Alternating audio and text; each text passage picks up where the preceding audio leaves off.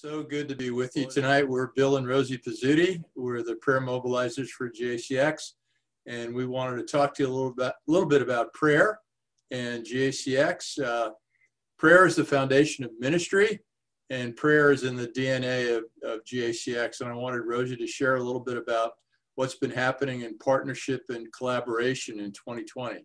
Okay. So 2020 started off great. We had a 40 day prayer and fasting time with uh, several other ministries in preparation for our Thailand conference in February.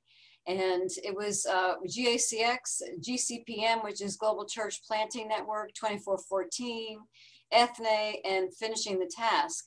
We all met in Thailand and we had a uh, many prayer sessions of uh, reaching re in regional groups and uh, praying for collaboration to for all our organizations to get together and reach the unreached people that are still out there and to finish the Great Commission. God worked miracles during that time. And since then, we've had monthly meetings with GACX India, uh, ministers and pastors, uh, monthly meetings with Southern Africa pastors, uh, weekly meetings with Europe missionaries. And uh, now GACX India is starting a South Asia um, GACX prayer group. So this is just wonderful how the Lord is using GACX. Yes, it's really exciting about the partnerships and collaborations that have been formed in 2020. And also, um, we had our global forum in September, and 30 days prior to the forum, we had 30 days of prayer and fasting. There were over 550 people that volunteered to pray and fast for those 30 days, and it was just very powerful. We also had a virtual prayer team that prayed throughout the forum uh, for the two days. And it was just really exciting to be uh, together in prayer and in collaboration uh, for the forum.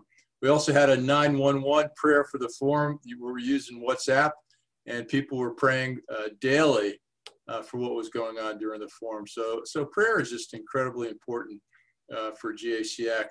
And it was not only important in 2020, well, it's going to continue to be important in 2021. And I, I want Rosie to share a little bit about what's going to happen in January. Yes, um, uh, 2414 and the prayer strategists and 10 days are getting together to do a global year of prayer.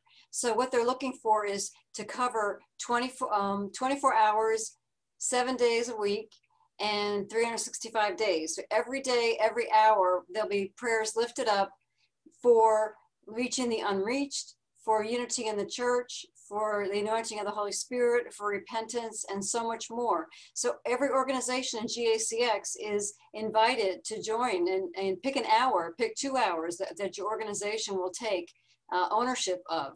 There's an invitation for you uh, in the newsletter that went out last week, December 1st. So go ahead and look at that or go on gacx.io and register become a part of this great opportunity for 2021. So we really thank you for being part of GACX. Uh, we thank you for praying for GACX. And because of your prayers and the prayers of thousands of people around the world, we're, we're believing that God's going to accomplish his vision in, for one church for every 1,000 people. So thanks so much and have a wonderful evening. Bye-bye. Bye.